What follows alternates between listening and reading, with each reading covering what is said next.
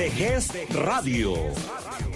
Transmitiendo desde las instalaciones de la Dirección General de Educación Secundaria Técnica, Fray Servando Teresa de Mier, número 135, cuarto piso, Colonia Centro.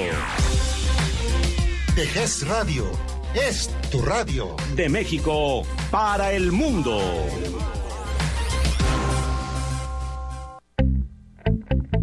Eduquemos sin violencia, sin golpes.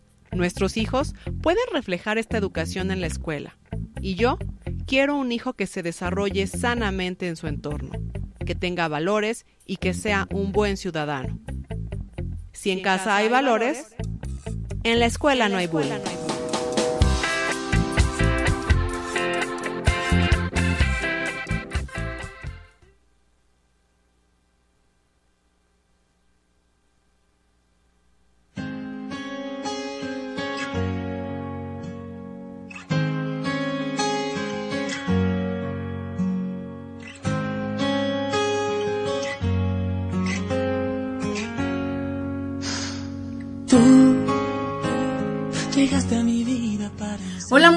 Días. Eh, hoy estoy muy contenta ya que vamos a desarrollar un programa muy interesante que es Alto al Bullying, esta serie que hemos llevado cada 15 días.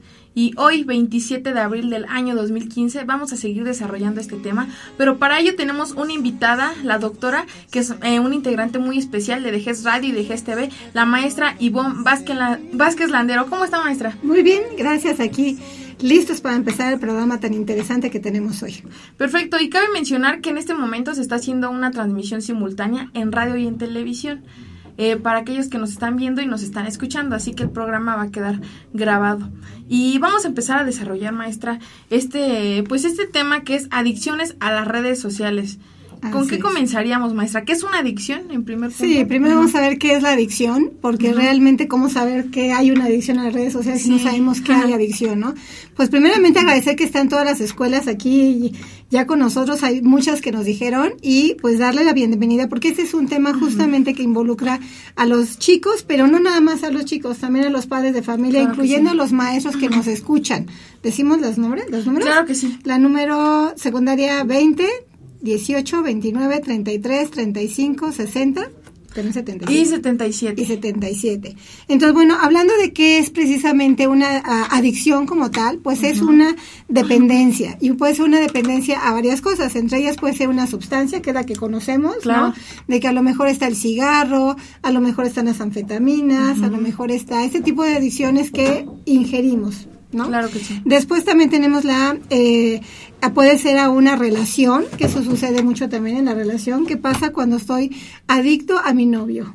¿No? Y de repente, ¿qué pasa? Que, que dicen, es que no puedo vivir sin mi novio y es que me muero si me deja, ¿no? Entonces, ¿qué pasa? Sí. Hay una adicción a esa persona, o no nada más al novio, también puede ser incluyendo a un familiar, etcétera, ¿no? Claro Entonces, sí. ¿qué pasa? Necesito estar mucho tiempo con esa persona y no puedo dejar de verla.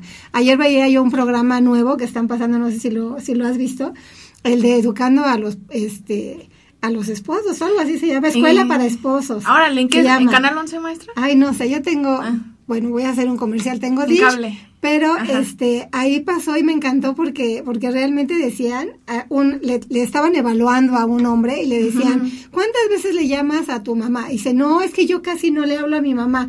Y le sacan entonces el, el, La el- el radio, no, no, no, eh, lo que te llega de, de, de las llamadas, cuánto tiempo tardas y demás, Sí. del recibo de teléfono, y ándale, sí. Cada determinado tiempo le estaba hablando a la mamá y sus llamadas eran más de 30 minutos, ¿A pero él decía que no. Y eso pasa justamente cuando hay una adicción, que no te das cuenta a qué grado estás llegando. Sí. Y tú niegas de que todos te dicen, es que ya eso ya es demasiado. Y tú, no, no es mucho, es, es lo que debe de hacer un, un hijo, ¿no? Por ejemplo. Y pues en realidad, ¿no? Ya estamos ahí hablando de una adicción. Entonces ahí estamos precisamente viendo lo de las personas, las relaciones con los demás, ¿no? Y no se diga con los novios, ¿no? Y bueno, la que nos trae aquí, que es una adicción, una dependencia precisamente a lo que es una actividad, pues hablamos de las redes sociales, que es las que hoy nos tienen aquí, ¿no? Las redes sociales pues son las que ahora nos mantienen muchísimo tiempo ahí y pues dejamos también de relacionarnos con nuestra familia, ¿verdad? Por estar en la en, en, el teléfono o en el Facebook, porque también el teléfono es una red, ¿verdad? Exactamente, WhatsApp, WhatsApp. por ejemplo, ¿no? Y me dejaste en visto, por ejemplo, ¿no? Evidentemente, eh, ¿por qué se llega a la adicción? Porque tú tienes una necesidad emocional. Claro. ¿sí? Cuando tú tienes una necesidad emocional, vas a buscar satisfacerla. Primero, eh, sería más fácil y mucho mejor confrontar esa necesidad. Pero en realidad lo que haces es la cubro y entonces me dirijo hacia otra persona para tratar de sentirme mejor, ¿no? ¿Qué pasa, por ejemplo, con el alcohol y con la droga? En el momento sí te hace sentir bien, pero cuando se quita, eres la misma persona triste o enojada o depresiva que estaba antes. Entonces nada más es como por un momentito que aparentemente te da lo que tú esperabas que era la felicidad. ¿Ok? Entonces finalmente eso no es lo adecuado. Sí, es algo a lo que uno a lo que uno se vuelve dependiente, ya no puede dejar. una dependencia. Y en este caso lo aterrizamos a las redes sociales que serán como Facebook, Twitter, WhatsApp, que son las principales. Claro, claro. De inicio, eh, cuando pusieron el, el Internet, pues la finalidad realmente era que eh, pues tuvieras acceso a más información. Claro. Esa era como que la lo ideal. Pues ahora resulta que está ayudando a que la gente se vaya separando mucho, incluso la familia, ¿no? Eso es muy bueno, por ejemplo, si tú tienes familiares muy lejanos, muy muy lejano exactamente, donde tú te puedes eh, meter a Facebook y puedes tener una conversación inmediata, ¿no? Con la persona en este, ¿cómo se llama? El, Skype, donde también puedes tener esta comunicación. Sin embargo, ahora lo estamos haciendo con los amigos, en vez de irnos a reunir con ellos, irnos a tomar el cafecito o ustedes la cervecita, los chavos, ¿no? Pero ¿qué pasa que no lo hacemos? Entonces, independientemente de eso, cuando sí se llegan a juntar, es increíble que de repente ves al grupo de chicos y todos, ahí con, su, teléfono, ¿no? Entonces, bueno, entonces me reúno contigo como para qué, si no se puede establecer esta comunicación, ¿sale? entonces, bueno, hace ya algunos años en Estados Unidos ya se puso, perdón, un nombre que le llamaban precisamente trastornos trastornos para eh, en, el desorden de adicción llamado precisamente para las eh, perdón relacionado a las adicciones a las redes sociales. Entonces ya hace tiempo se está trabajando con varias personas ya para que se les quite esa adicción. Por ejemplo en el centro de integración juvenil ya hay personas no nada más jóvenes también adultos que se están tratando sale entonces evidentemente no es lo más bonito que está pasando a nivel sociedad. Maestra, bueno, eh, yo sé que lo hemos mencionado anteriormente en otros programas, pero yo había visto igual en un reportaje, eh, me, parece que fue del Excelsior, donde mencionaban que, pues sí, ¿no? O sea, lo grave del asunto es que la introducción de la nota comienza diciendo que tanta Tanta es la adicción a este tipo de redes sociales que los alumnos ya en lugar de recurrir a un psicólogo recurren a un centro psiquiátrico. Y lo que mencionábamos en el anterior programa, que usted, por ejemplo, no le gusta mucho esta onda de la psiquiatría porque ya utilizan medicamentos. Usted siempre trata de mejor hablar con la persona y que se cure a través de, pues, del diálogo, ¿no?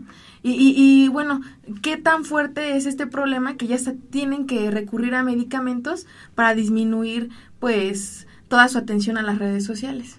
Sí, bueno, lo que pasa es que como cualquier adicción va a pasar por varias etapas, ¿no? Claro. Y una de ellas precisamente es que cuando tú ya no estás cercano a esa situación, eh, vas a tener el periodo de abstinencia. Y esto le pasa a los chicos, y la otra vez lo decíamos en broma, pero ¿qué pasa cuando tus papás te dicen, vamos a ir a ver a la tía Lupita, ¿no? Y la tía Lupita no tiene internet. Entonces, no, por favor, no puedo ir, o vamos a ir a una cabaña. ¿Qué? ¿Qué es eso? Ahí no existe, ¿no? Entonces, como que no me puedo contactar con, con toda la parte... Este, virtual. Más bien me quiero seguir pues la parte virtual y no me contacto con la ah, con lo real, ¿no? Exactamente. Entonces, exactamente, ahí viene un periodo de abstinencia y eso nos pasa como que a todos, ¿eh? De repente estás ahí y dices, ay, lleva media hora y no suena ningún WhatsApp, ¿no? Entonces, estará mal la red y, checas, ¿no? Y checas por qué, porque ya hay una situación muy de dependencia, exactamente, pero hay niveles, ¿verdad? De repente hay gente que no puede desconectar su teléfono en la noche ¿Por qué? Porque está al pendiente si alguien se conecta o si alguien me manda un, un Facebook en la noche, un mensajito, entonces están como que muy atentos. Esa parte no debe de pasar. Entonces, efectivamente, cuando tú estás pasando por un periodo, y ahorita, ahorita les voy a decir algunos, em, digamos, para que se evalúen, algunos criterios y ustedes se van a ir poniendo palomitas a ver si cumplen o no cumplen. Si cumplen con dos o tres de esos criterios, quiere decir que tienes una adicción y vas a ver qué tenemos que hacer. ¿Quieren que lo hagamos de una vez? Ah, perfecto. Sí, mira. Vamos a decirles. El ahorita- primer paso de cualquier adicto, ¿no? Primero tienes que aceptar que tienes un problema. Sí, pero es lo primero que hicimos. No, ¿cómo creen? Como les, que les decía yo ahorita Sí. al programa, ¿no? No, no tengo adicción. Ajá. Bueno, no lo, no lo manejaron como adicción, pero sí había una, una situación muy fuerte de llamadas, ¿no? Pero a ver, si estamos hablando, entonces váyanse poniendo como que palomitas a ver qué tanto realmente ustedes lo tienen. Voy a decir seis criterios, ustedes vayan contándolo con sus manos, poniéndolo como ustedes quieran, ¿sale? Primero es que tienen un sentimiento de satisfacción al ingresar a las redes sociales. Evidentemente por algo entras, ¿verdad? Ajá. Entras porque quieres sentir una satisfacción. Claro. La segunda es la tolerancia. La tolerancia significa que necesitas poco a poco más tiempo. De repente los papás sí le quieren poner límites a, a los hijos, ¿no? Te voy a dejar media hora que ingreses a Facebook. Claro. Y de repente media hora los hijos dicen al principio Una está hora. bien. Y de repente va, por favor, nada más 10 minutos, ¿no?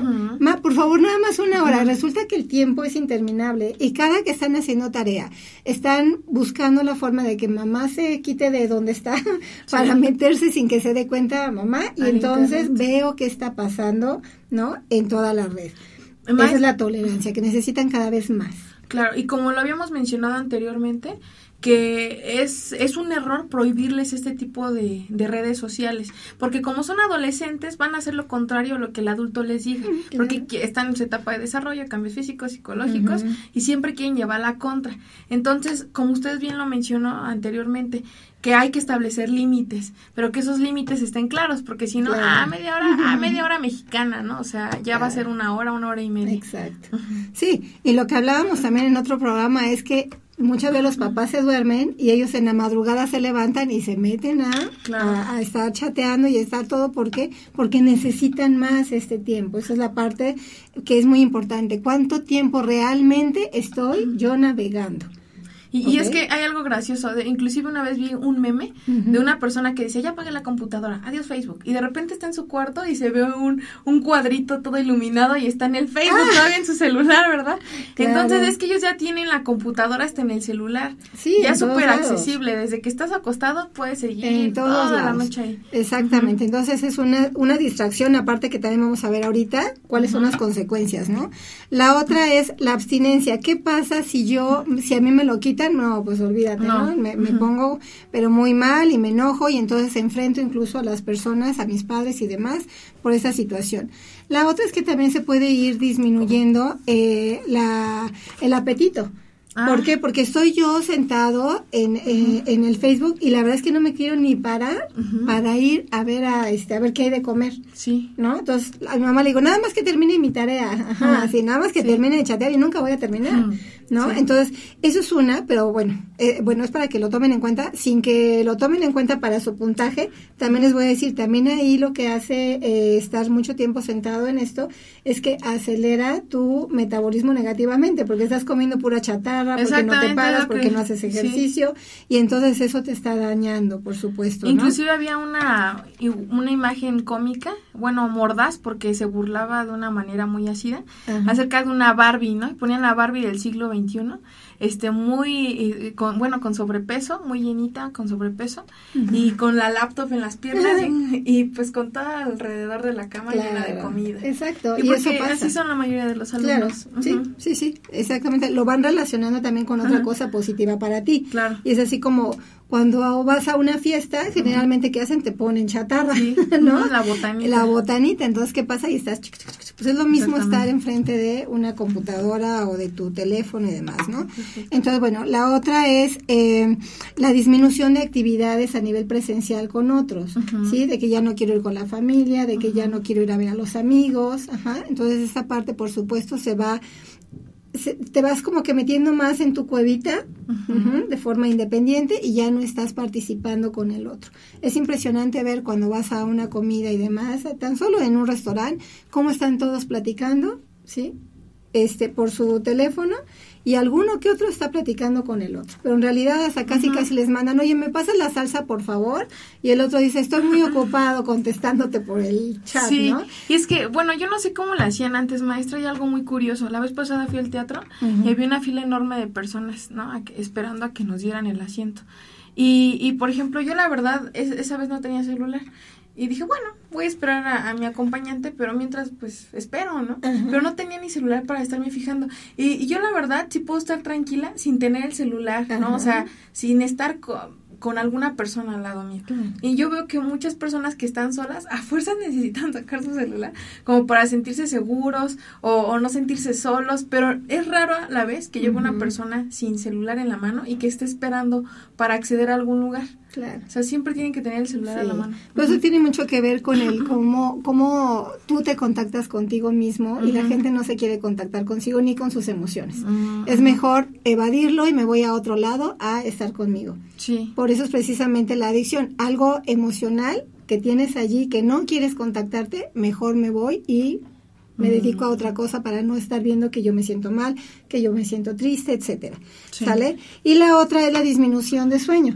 Obviamente, la pantalla, cuando está enfrente de ti, automáticamente a nivel eh, biológico te quita el sueño, porque tu cerebro está viendo que hay luz y entonces te dice todavía no es noche, entonces no te da sueño. Cuando tú apagas el celular, todavía tardas un tiempo para que tu cerebro diga, ok, ya se oscureció, quiere decir que ya tenemos que dormir. Entonces eso altera el sueño. ¿Ok? Entonces, ahorita ya ustedes fueron poniendo palomita, ajá. Quien cubra, por ejemplo, estamos hablando de dos a tres de los caracteres que ahorita dijimos, pero que sean más de seis meses, de seis meses hacia adelante, sí. significa que ya hay una posibilidad de que haya una adicción, Sí. ¿ok? Entonces, ¿qué pasa si tenemos una adicción? Pues tenemos que trabajarla, como cualquier otra adicción, ¿sí? Pero Exactamente. No es fácil trabajarla de decir, bueno, ya yo no voy a tener teléfono, ya no voy a tener iPad, ya no voy a tener tablet, ya no voy a tener nada, ¿no? Y sí, ¿y qué? ¿Por qué estoy ahí, no? Aquí la situación es ver qué me está motivando a llegar a. Exactamente. Y bueno, yo una vez leí en, en un artículo de la revista muy interesante que para fortalecer la fuerza de, de voluntad, bueno, para fortalecer la, La la voluntad. voluntad. perdón, Ajá. mi redundancia ahí, este, pues era mejor cuando tuvieras esas cosas al alcance. ¿Qué quiere decir dulces? Si no puedes comer dulces, tenlos a la mano y tu abstinencia, pues, eh, va a ser más fuerte y tu fuerza de voluntad también va a incrementar.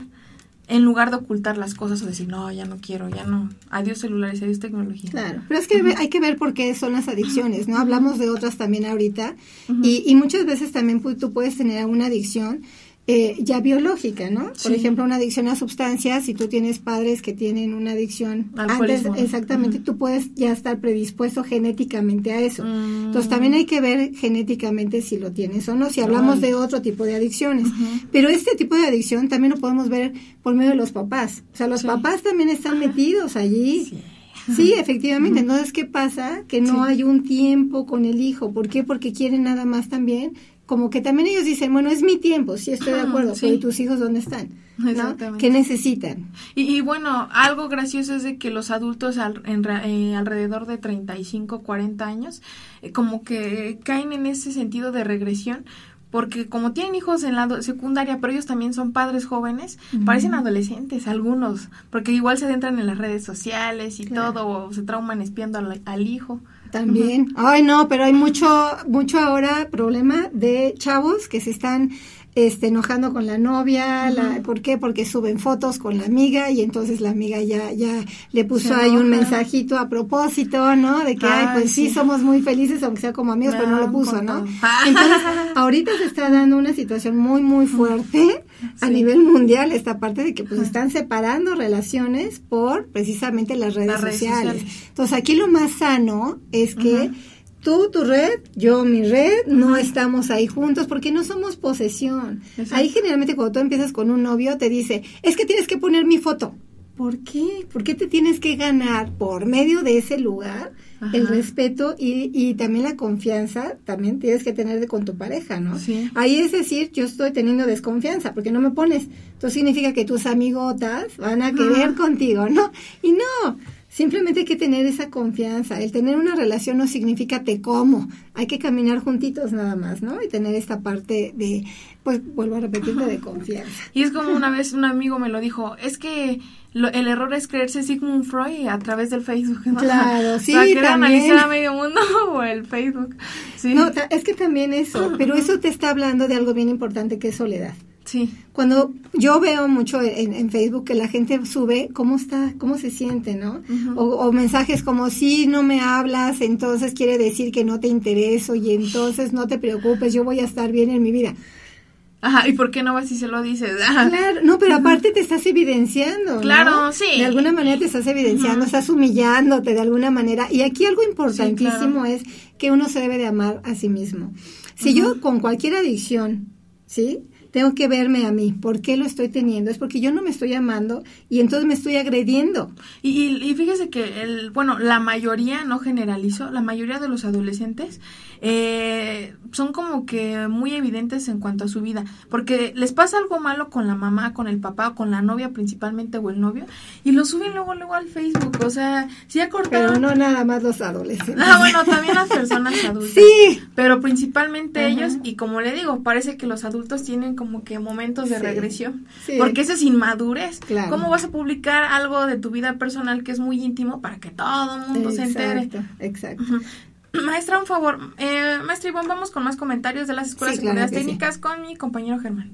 Estrellita, eh, hay comentarios eh, y uno me parece muy importante, pero antes voy a saludar a las escuelas que nos están siguiendo en el chat, la técnica 77 Maru, la técnica 9, la técnica 18, la 29, la 33, 35 con Yadira, la técnica 60 y nos dice la técnica 9, dice, mis papás no me hacen caso por estar en su face. Ahí estamos en esa soledad que te hablo. Exactamente. Hoy los chicos, y eso lo hemos hablado en otros temas, que los chicos están muy solitos, los papás no están ahí eh, conteniendo las emociones de los niños, viendo qué es la parte de la comunicación tan importante y ese, ese apego, te doy tiempo, ¿cómo te fue en la escuela? ¿Qué hiciste?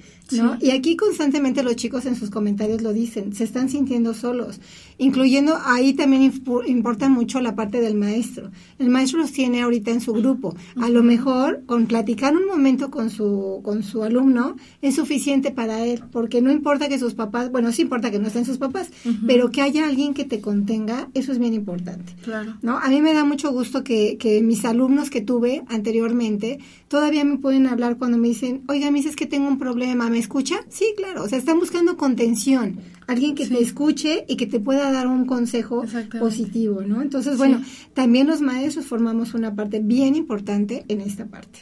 ¿Sí? Por eso ahora se está dando mucho esto de la tutoría, ¿no?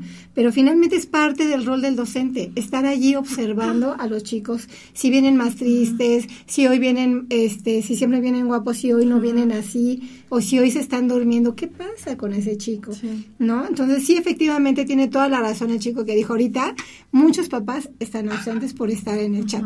Tienen ellos también su, su posibilidad de darse su tiempo, porque también es válido, ¿no? Claro. O sea, también se pueden dar el tiempo de, de chatear con su amiga de Cancún, o no sé, está bien. Pero Unidos, también ellos tienen que ver, primero como prioridad son mis hijos. Sí. Son mi obligación, son, son mi, es, es mi rol como padre estar ahí, ¿no? Y, y que no les pase como a mí, yo tenía 10 años y estaba muy de moda lo del chat. Y yo la verdad ni siquiera tenía computadora en aquel entonces.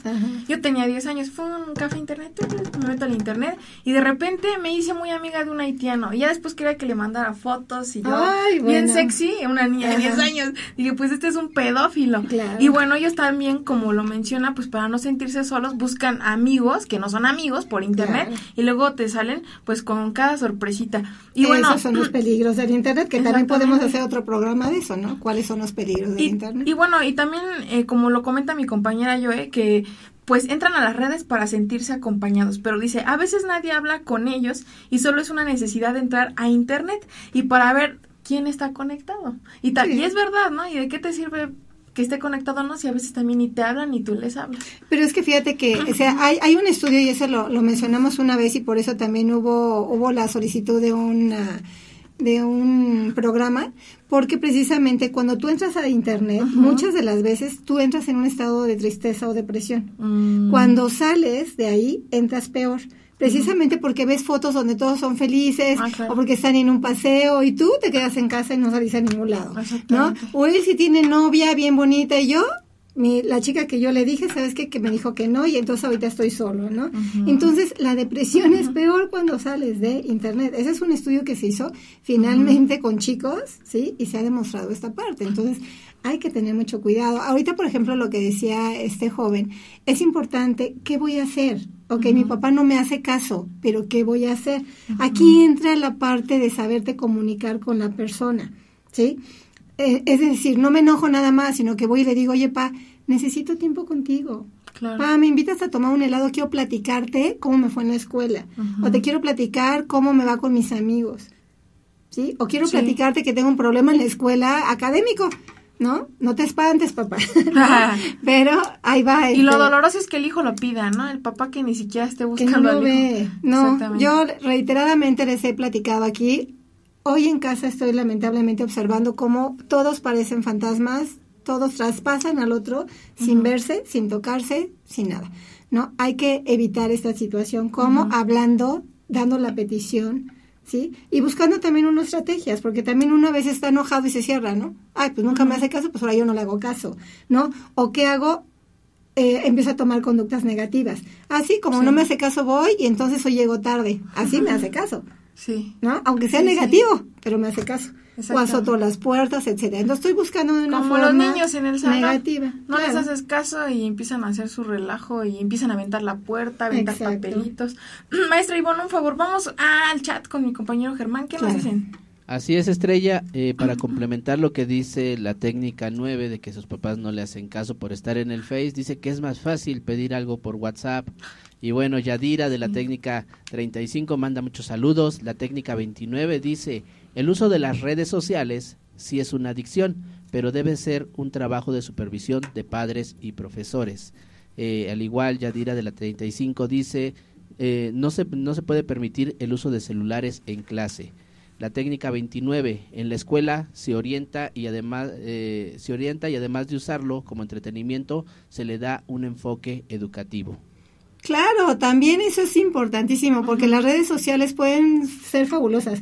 Yo a mis Claro. alumnos, por ejemplo, de, de, de licenciatura, este, ahorita tengo un grupo de maestría y también lo vamos a hacer, en donde vamos a hacer precisamente foros, ¿sí? Donde tú, ellos están en tu, en tu Facebook, por ejemplo, haces tu grupo, nada más con tu, con ese grupo Claro. específico, y ahí tú puedes subir eh, eh, el temario, puedes subir tareas, puedes hacer foros, que es bien interesante porque aparte es trabajo en eh, colegiado, trabajo en equipo, y aparte es muy bonito porque entre ellos se pueden, eh, pueden mejorar mucho su aprendizaje, porque ellos se autocorrigen o corrigen al otro al estar viendo los comentarios de los demás. Entonces es una forma, sí, que le podem- podemos sacar mucho provecho, muchísimo. Y, y claro, ¿no? O sea, hacerles mención que, oye, pasas cuatro horas en el Facebook, dentro de esas cuatro horas puedes destinar diez minutos al Facebook de grupo de acuerdo a la asignatura. Claro. Voy a compartir una experiencia así muy breve. Eh, tengo una maestra que se llama Gema, entonces la maestra hizo un Facebook de grupo. Y, y total que ella empezó a sacarle fotos a los trabajos, lo subió a la red social de grupo y, y pues lamentablemente la maestra se sintió un poco decepcionada porque ella esperaba que pues esos trabajos sirvieran para que los niños que van mal, casi reprobados, pues pudieran realizarlos, ¿no? Pasarlos a, por lo menos que pasen con Que seis. se motivaran Ajá, un poquito. Exacto, pero Ajá. gánense la calificación. Entonces, ¿qué pasa? Que en la primera semana ningún niño entregó el, el cuaderno completo y en la segunda semana tres niños, a lo mejor de 20, pero tres niños sí ha completaron el cuaderno y Mm. luego lo más gracioso es de que se acerca a mostrarle con el celular a la maestra y dice, mira maestra, eso es lo que usted subió al Facebook. Y Ajá. entonces está idéntico en el cuaderno, ¿no? Dije, "Mm, Ah, bueno, está padre. Ajá. Digo, qué buena idea. Claro. Y sí se aprovechan, ¿no? De esa por manera. supuesto, es una muy buena estrategia, sí. bien manejada, por supuesto que sí. Y además es muy, eh, muy didáctica. Claro. Y aparte es donde ellos están. Yo por eso Exacto. les decía, se los voy a subir ahí porque sé que ahí siempre van a ver la tarea y no se les Sí. olvidar, ¿no? Entonces es una parte que está muy padre. Entonces yo esperaría que ahorita estos chicos que, que escucharon, incluyendo los maestros que también escucharon, y si hay papás por ahí, pudieran haber hecho este diagnóstico ajá, y decir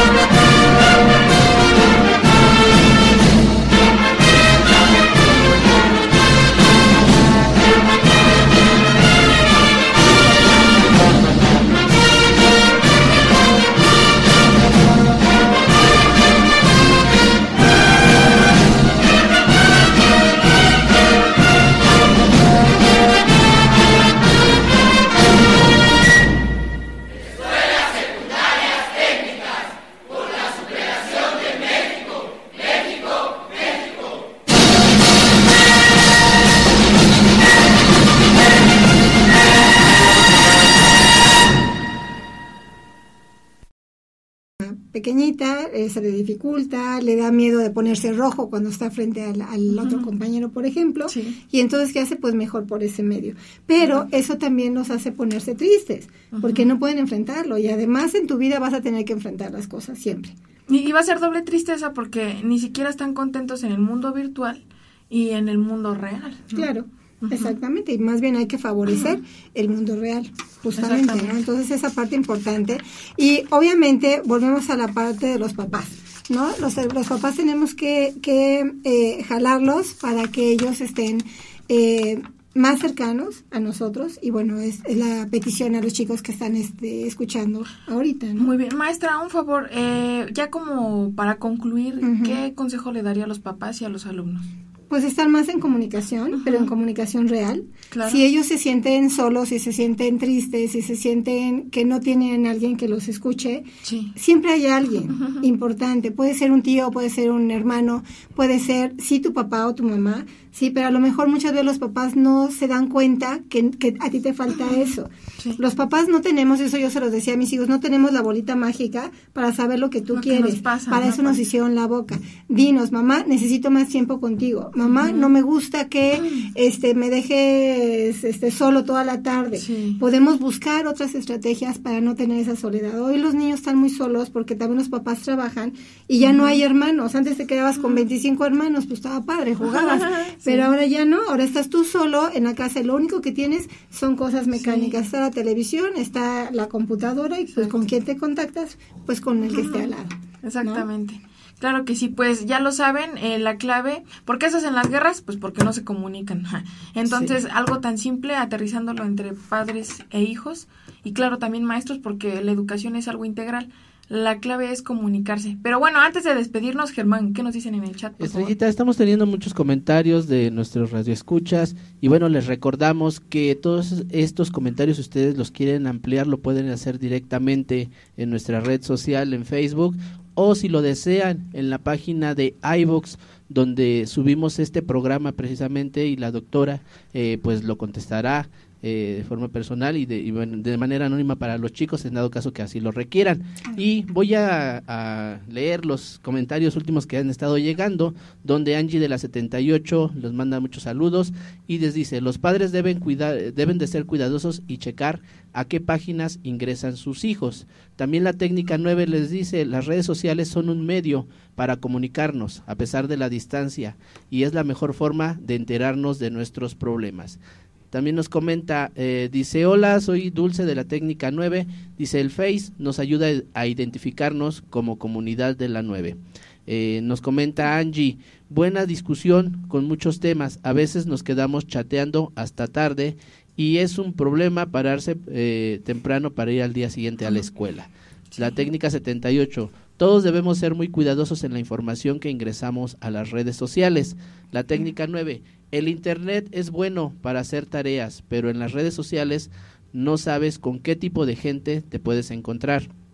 La técnica 78, la comunidad es muy importante. La técnica 9, saludos eh, de Samantha, técnica 9 es peligroso hacer amigos en las redes sociales, a veces no son quien dicen ser. Claro, totalmente cierto. Por eso es que sí puedes tener amigos en las redes sociales, pero deben ser tus amigos. Exactamente. No, no gente que llegue precisamente porque como no tienes amigos, pues acepto a quien sea. No, acepta a solo tus amigos. Y eso que dijo es bien importante, perteneces a un grupo, por ejemplo, si tienen el, el Face, el grupo de la secundaria que, que, dijeron, eso está muy padre, como lo que les comentaba con el grupo de mis alumnos, Eso te hace perteneciente, parte de la adolescencia bien importante, por supuesto. Sí, o sea, ya no ser tan superficiales, si vas a tener por lo menos 200 amigos, y digo, bueno, por lo menos porque tienen hasta mil amigos, ah, que te garantice que son personas que sí las has visto por lo menos una vez en tu vida, ¿no? Exacto. O dos veces en tu vida. Sí, pero la verdad es que no vas a platicar con todos. no. No, ten, a los que realmente vale la pena tener y que realmente vas a platicar con ellos, ¿no? Que te va a servir, pues, si no, como para qué. Nada más para tener un prestigio por cuántos tienes. Perfecto, eso me agrada más. Muy bien, maestra. Muchas gracias, maestro Ivonne, por pues todos estos consejos que siempre nos da cada 15 días. aquí en Alto al Bullying. Y bueno, aquellas personas que nos estuvieron escuchando y viendo, muchas gracias por participar. Y a los que no se han logueado, regístrense a través del chat para que nosotros podamos estar en comunicación y podamos pues ampliar más este tema con sus aportaciones. Así que bueno, no se vayan, vamos a continuar con más programas aquí en Dejes Radio, porque Dejes Radio es tu radio. Hasta luego, chicos. Adiós.